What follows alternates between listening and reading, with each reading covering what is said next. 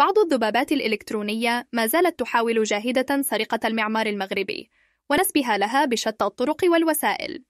ولكن سنذكرهم بمعركة بقدورة سنة 741 ميلادية وهي مواجهة حاسمة بين الأمازيغ المغاربة والجيش الأموي وانتهت بانتصار كبير للأمازيغ. فقال الخليفة الأموي هشام ابن عبد الملك جملته الشهيرة والله لأغضبن لهم غضبة عربية ولأبعثن إليهم جيشا أوله عندهم وآخره عندي. ثم لا تركت حصنا بربريا إلا جعلت إلى جانبه خيمة قيسي أو يمني. وهنا نلاحظ أن الخليفة يتحدث عن تنصيب الخيام بينما يذكر الحصون الأمازيغية المغربية. والحصن هو بنية عسكرية على شكل أسوار.